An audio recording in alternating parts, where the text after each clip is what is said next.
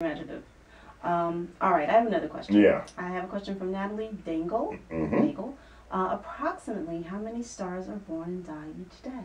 Oh, I love that. Now, what's a day? Ah. How are we defining a day? I am assuming Earth Day and not somebody else's day. Earth. Earth. Right. But of course, other planets have days. Mhm. Yes. In fact, Venus's day is longer than its year. Just chill on that one for a bit.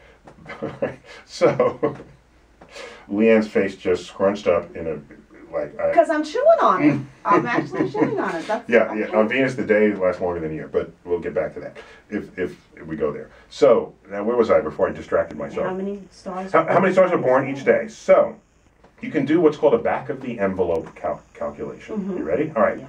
Our galaxy has about, just say, 100 billion stars. Mhm. Okay? And the universe has been around for about 10 billion years. Back of the envelope means you change the number to make the math easy. But your answer will be back of the envelope my taxes all the time. so, but your answer will be approximately correct, and later on you can put the exact number in if you want the exact answer. So say we have about 100 billion stars, and the universe, and the galaxy has been around for 10 billion years. Okay? So, if we have 100 billion stars, and we've been around for 10 billion years, that means the galaxy makes 10 stars a year.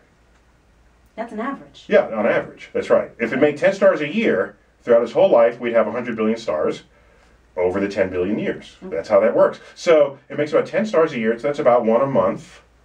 And so we don't quite make a star a day on average. About one a month. Okay. We could live with that. However, that's not actually how stars are born. They're born episodically in stars, in stellar nurseries, where thousands of stars are born all at the same time.